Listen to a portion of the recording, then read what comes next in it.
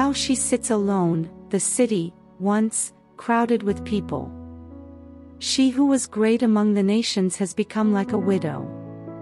The princess among the provinces has become a slave. She weeps aloud during the night, with tears on her cheeks.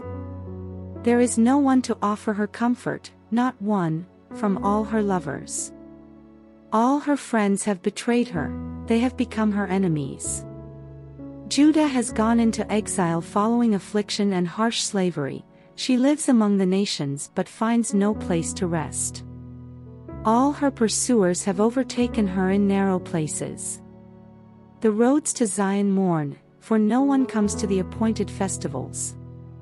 All her gates are deserted, her priests groan, her young women grieve, and she herself is bitter. Her adversaries have become her masters, her enemies are at ease, for the Lord has made her suffer because of her many transgressions. Her children have gone away as captives before the adversary. All her splendor has vanished from daughter Zion. Her leaders are like stags that find no pasture, they walk away exhausted before the hunter. During the days of her affliction and homelessness Jerusalem remembers all her precious belongings that were hers in days of old. When her people fell into the adversary's hand, she had no one to help. The adversaries looked at her, laughing over her downfall. Jerusalem has sinned grievously, therefore, she has become an object of scorn. All who honored her, now, despise her, for they have seen her nakedness. She herself groans and turns away. Her uncleanness, stains, her skirts. She never considered her end. Her downfall was astonishing, there was no one to comfort her. Lord, look on my affliction, for the enemy triumphs. The adversary has seized all her precious belongings. She has even seen the nations enter her sanctuary, those you had forbidden to enter your assembly. All her people groan while they search for bread. They have traded their precious belongings for food in order to stay alive. Lord, look and see how I have become despised. Is this nothing to you, all you who pass by? Look and see. Is there any pain like mine, which was dealt out to me, which the Lord made me suffer on the day of his burning anger? He sent fire from on high into my bones, he made it descend. He spread a net for my feet and turned me back. He made me desolate, sick all day long. My transgressions have been formed into a yoke, fastened together by his hand, they have been placed on my neck, and the Lord has broken my strength. He has handed me over to those I cannot withstand. The Lord has rejected all the mighty men within me. He has summoned an army against me to crush my young warriors. The Lord has trampled virgin daughter Judah, like grapes, in a winepress. I weep because of these things, my eyes flow with tears. For there is no one nearby to comfort, me, no one to keep me alive. My children are desolate because the enemy has prevailed. Zion stretches out her hands, there is no one to comfort her. The Lord has issued a decree against Jacob that his neighbors should be his adversaries. Jerusalem has become something impure among them. The Lord is in the right, for I have rebelled against his command. Listen, all you people, look at my pain. My young men and women have gone into captivity. I called to my lovers, but they betrayed me. My priests and elders perished in the city while searching for food to keep themselves alive. Lord, see how I am in distress. I am churning within, my heart is broken, for I have been very rebellious. Outside, the sword takes the children, inside, there is death. People have heard me groaning, but there is no one to comfort me. All my enemies have heard of my misfortune, they are glad that you have caused it. Bring on the day you have announced, so that they may become like me. Let all their wickedness come before you, and deal with them as you have dealt with me because of all my transgressions.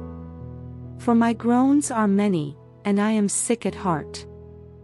How the Lord has overshadowed daughter Zion with his anger. He has thrown down Israel's glory from heaven to earth. He has abandoned his footstool in the day of his anger. Without compassion the Lord has swallowed up all the dwellings of Jacob. In his wrath he has demolished the fortified cities of daughter Judah.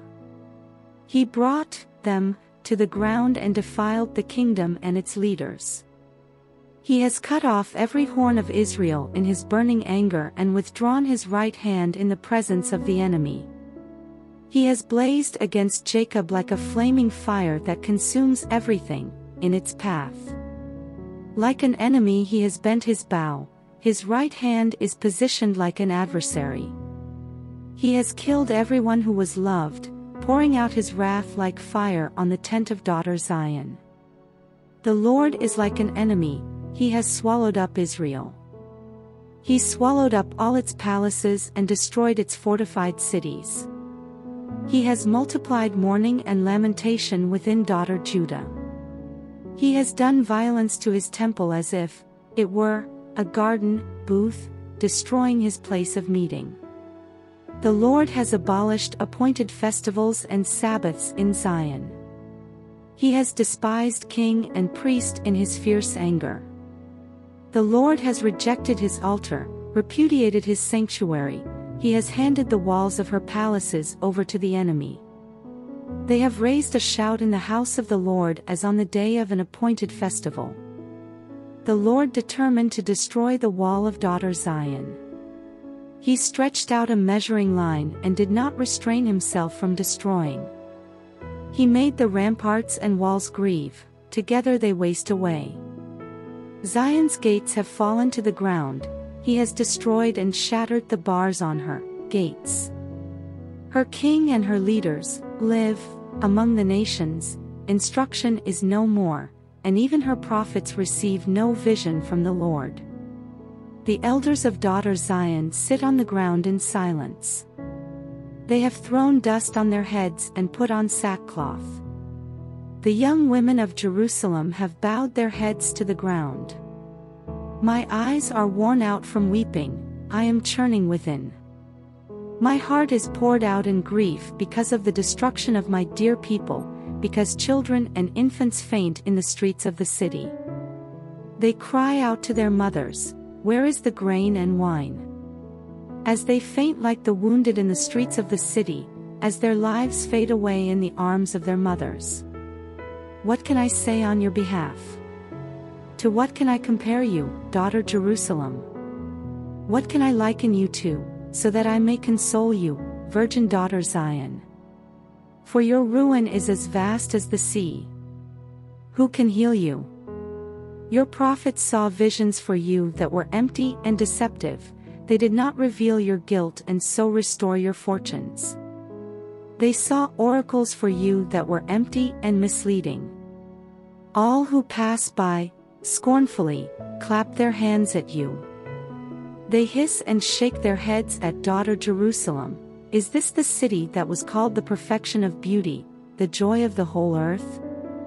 All your enemies open their mouths against you.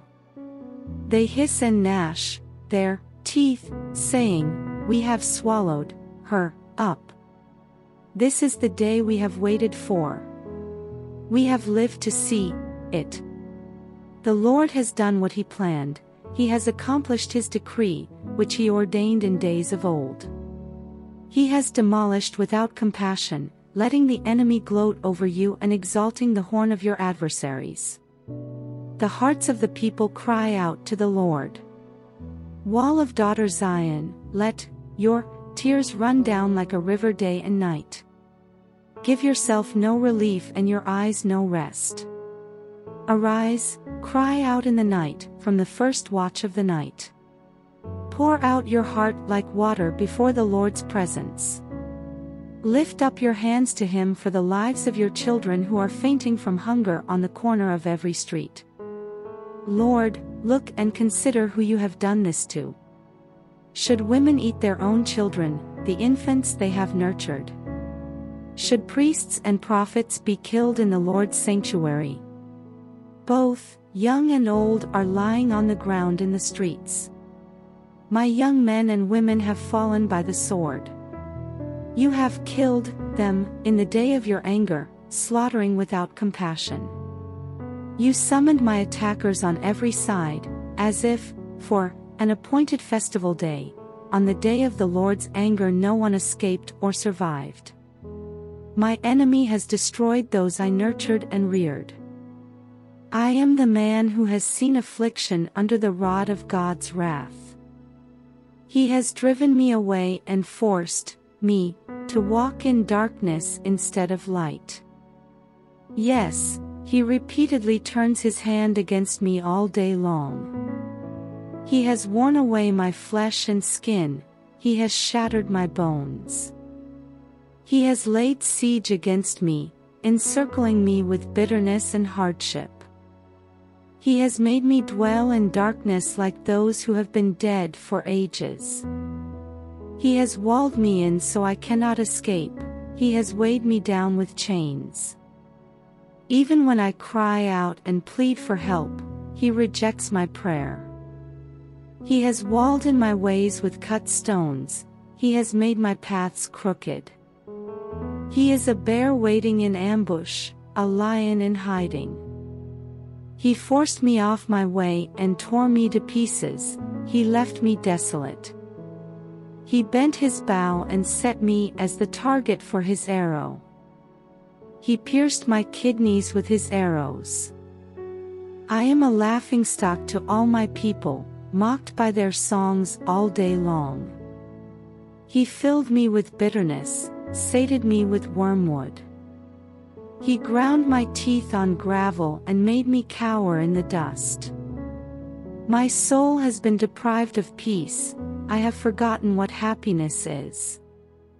Then I thought, my future is lost, as well as my hope from the Lord. Remember my affliction and my homelessness, the wormwood and the poison.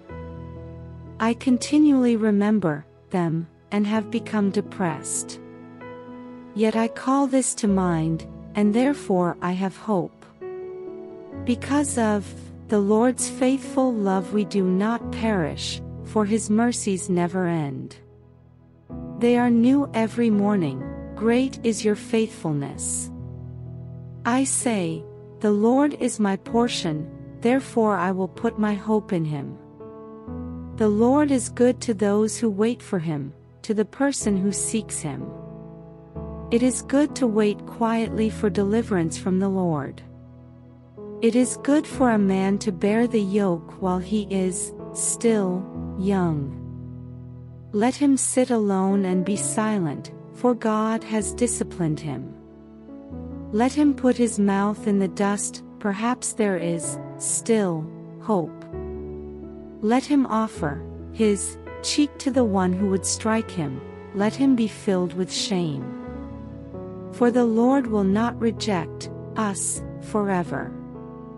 Even if he causes suffering, he will show compassion according to his abundant, faithful love.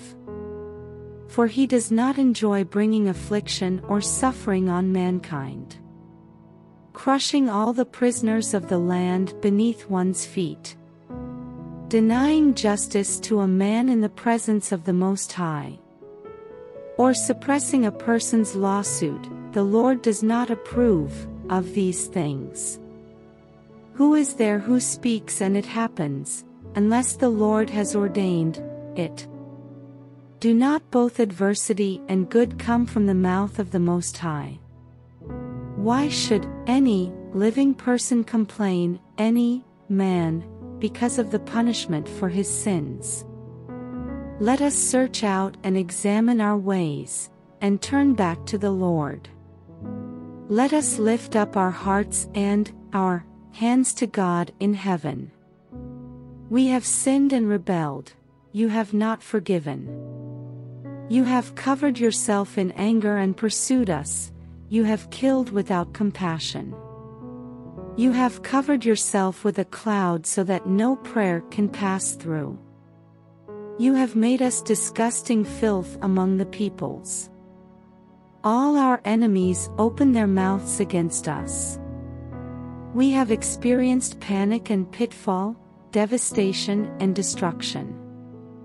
My eyes flow with streams of tears because of the destruction of my dear people. My eyes overflow unceasingly, without end. Until the Lord looks down from heaven and sees. My eyes bring me grief because of the fate of all the women in my city. For no apparent reason, my enemies hunted me like a bird.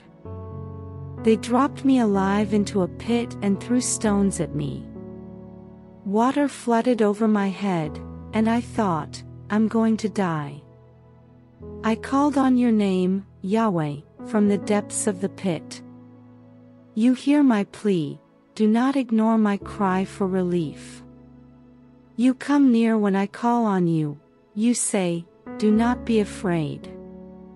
You defend my cause, Lord, you redeem my life. Lord, you see the wrong done to me, judge my case. You see all their malice, all their plots against me. Lord, you hear their insults, all their plots against me. The slander and murmuring of my opponents attack me all day long.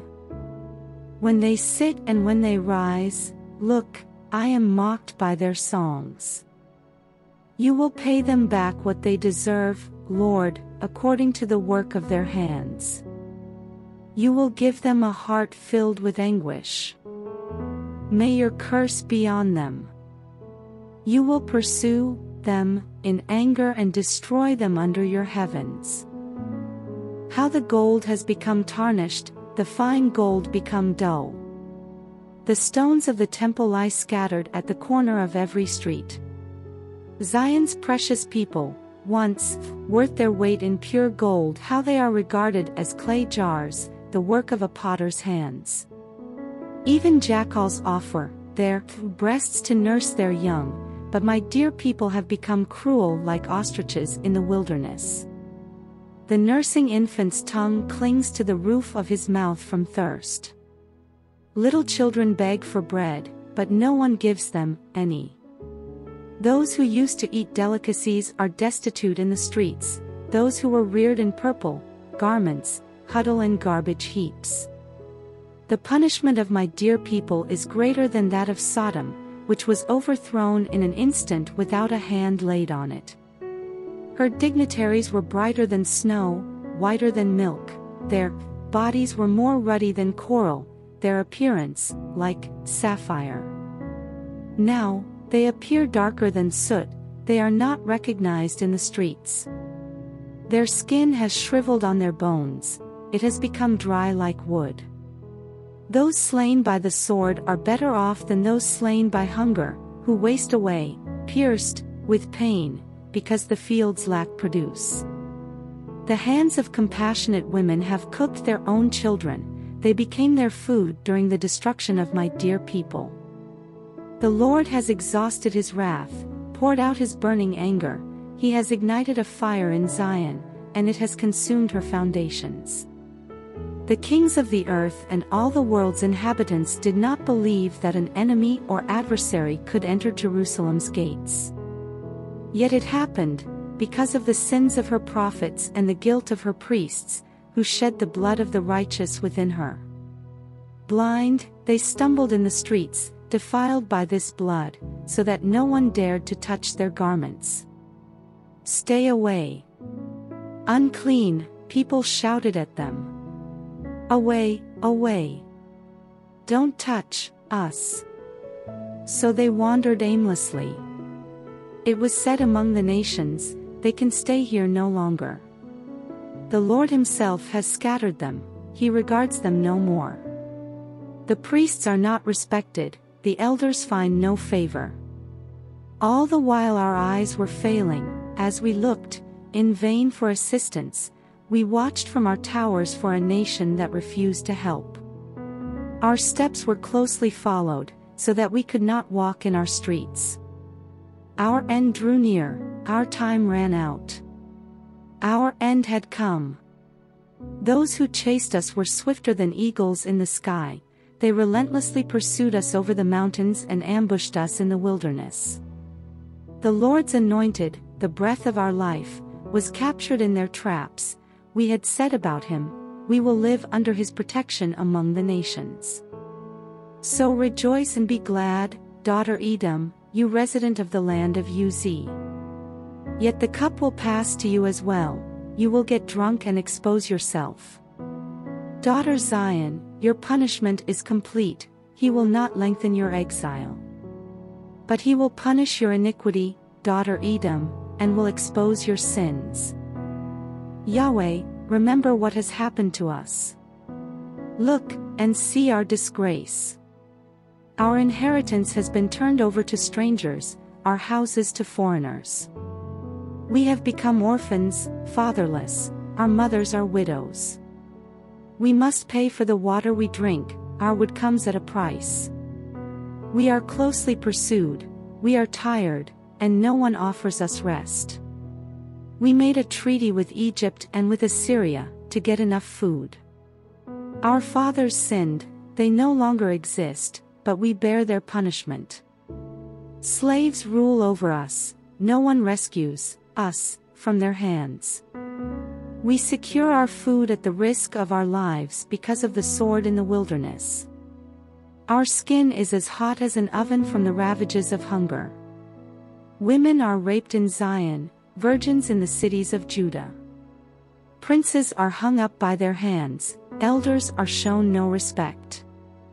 Young men labor at millstones, boys stumble under loads of wood. The elders have left the city gate, the young men, their music. Joy has left our hearts, our dancing has turned to mourning.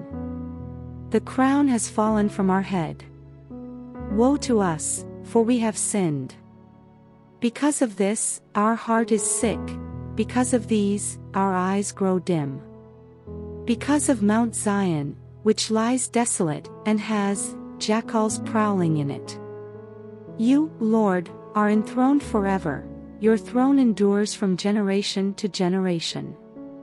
Why have you forgotten us forever, abandoned us for our entire lives? Lord, restore us to yourself, so we may return, renew our days as in former times. Unless you have completely rejected us and are intensely angry with us.